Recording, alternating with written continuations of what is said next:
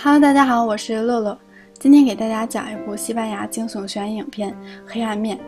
影片开头，男主的女友贝伦不辞而别，并留下了一条分手视频。男主看到视频，伤心欲绝，去酒吧买醉，然后遇到了在酒吧工作的安娜。由于喝得不省人事，被安娜带回了家。当然，什么也没发生。第二天，男主就直接走了。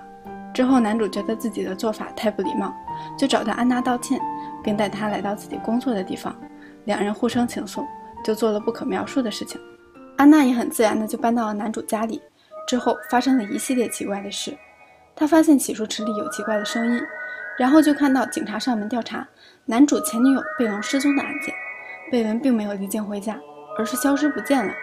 警察怀疑是男主杀人藏尸了，就开始搜查房子，但没有什么收获。碰巧其中一个警察是安娜的前男友。安娜疑惑地问男主发生了什么事。男主向安娜解释，贝伦并不是失踪了，而是抛下自己和别人跑了，并非常肯定贝伦不会出什么事。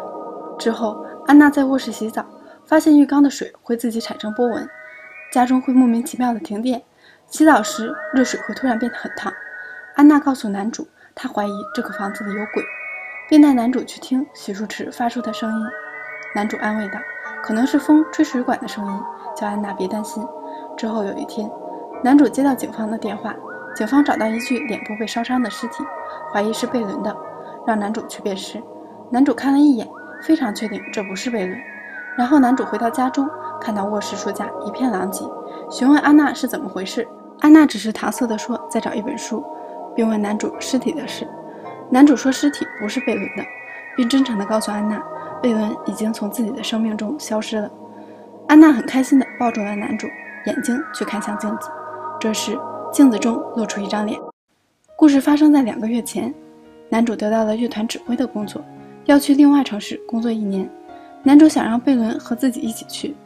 贝伦思考后辞掉了自己的工作，陪男主来到了这个城市，并租下了这个别墅，过起了没羞没臊的生活。直到有一天，贝伦去乐团找男主，发现男主和小提琴手暧昧，贝伦很难过，觉得自己放弃了工作来到这里，男主却还找别的女人。之后和房东聊到此事，房东询问贝伦是否想验证一下男主的真心，然后告诉贝伦卧室镜子后面有个密室，密室里面有发电机可以用来开灯，甚至还有厕所，并且这里超级隔音，外面完全听不到里面的声音，但里面可以听到外面的所有声音，还可以通过卧室的镜子和洗手间的镜子观察外面。之后，贝伦打算考验男主，录了一段分手视频，开心地收拾好自己的东西，打算躲进密室。这时，男主马上就要到家了，贝伦匆忙地跑进密室锁了起来。男主回到家中，看到贝伦录的视频，伤心欲绝。贝伦看到男主这么难过，觉得男主还是在乎自己的，决定出去。可因为自己进来匆忙，钥匙掉在了外面，这下贝伦真的被困在里面了。贝伦想打电话求救，可密室里没有信号，拿椅子狂敲玻璃也仍然没有一点反应，靠着密室里发霉的罐头和锈掉的水生活。无意间发现敲打密室里的水管，可以控制洗漱池的水，想借此引起男主注意，可男主并没有发现异常。之后，男主带安娜回家，贝伦眼看着自己的男友和别的女人啪啪啪，十分崩溃，在密室咒骂安娜。无意间又发现密室里面的开关可以控制水温，所以烫伤了安娜。直到有一天，贝伦看到安娜发现了密室钥匙，并当项链戴在了脖子上，这又唤起了贝伦的求生欲望。为引起安娜注意。贝伦不断地敲打水管，让洗漱池的水有波纹。男主去认领尸体那天，安娜在屋外闲逛，发现水不会无缘无故的有波纹，于是来到洗漱池前放满了水，开始通过波纹动态和贝伦对话。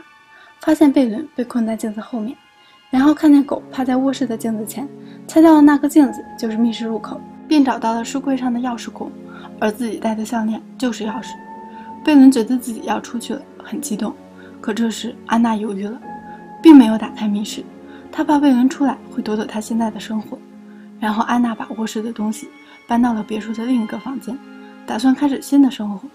可又有些担心贝伦，于是跑到镜子面前和他对话，但没有任何动静。直到有一天，安娜前男友找到安娜，并给了她一堆照片，是男主和那个小提琴手的暧昧照。安娜发现男主出轨后很难过，也体会到贝伦的感受，决定救贝伦出来。打开密室后，看到贝伦躺在床上一动不动，上前试探贝伦是否还活着。突然，贝伦睁开了眼睛，打晕了安娜，拿了钥匙逃了出去，并把安娜关在了密室里面。来到大厅时，听到房东去世、打算出售房子的电话留言，然后就离开了。男主回到家中，发现安娜不见了，床上有个钥匙项链，而镜子上有张自己和贝伦的照片。故事到这里就结束了。本片作为惊悚电影，在画面上并没有什么恐怖镜头，比起视觉上的冲击，人性的黑暗才更加让人觉得毛骨悚然。好啦，今天就讲到这里，明天继续给大家解说《黑镜》系列。